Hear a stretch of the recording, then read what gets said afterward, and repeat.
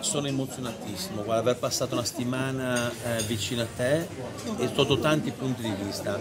Sapere che nel mio palmarès potrò dire ho frequentato Lady Bocchetta, la donna che poteva cambiare la meteorologia della Liguria e tu no, da radicale naturalista quale sei, dico no, la Bocchetta la voglio tutta integra, nonostante che volesse... Cosa mi vuoi dire?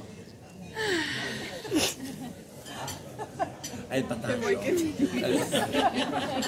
Va bene, senti, io spero di, di, vederti quando sarai ministro, non perché tu sarai ministro, perché verrò a rompere i coglioni eh, per avere un campo da rugby o una cosa, va bene? Fai conto, facci conto.